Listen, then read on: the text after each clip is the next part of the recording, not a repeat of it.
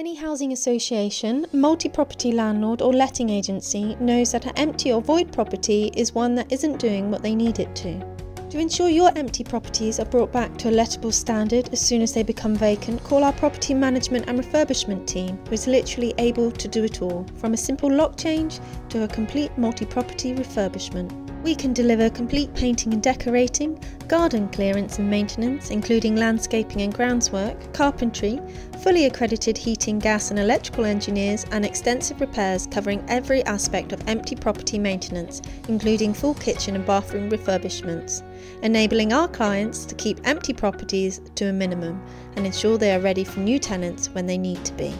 Our teams have been entrusted with the task of bringing a large number of empty properties back to a tenantable state across Herefordshire and Gloucestershire, as we currently support Stonewater, Platform Housing Group, and Two River Housing. To learn more about our property management services or for a free no obligation quote, get in touch on